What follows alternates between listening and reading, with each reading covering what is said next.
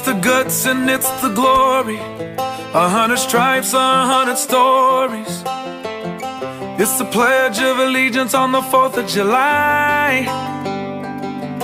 It's them handwritten letters from home. It's them sleepless nights alone.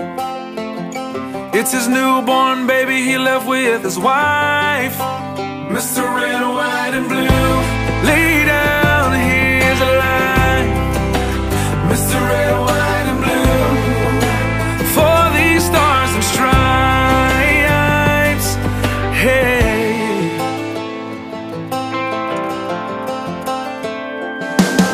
From the fields of Indiana to the swamps of Louisiana to the golden coast of California. Uncle Sam's the only family he's got. His purple heartbeat won't stop.